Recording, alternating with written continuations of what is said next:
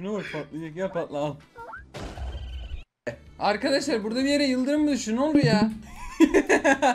Vallahi var ya. Şuna bak patlayacak ya patla al.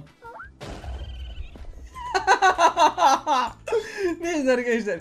Ee, Kemal abi. kendinize iyi bakın. Kemal Oradaki abi, yere abim. Haberiniz Öz olsun. abim ya. Bunlar saldırıyor bunlar tehlikeli yaratık. Ee, bir sonraki bölümde görüşürüz. Bunlarla uğraşmayalım. Ee, ben gideyim. Hoşçakalın.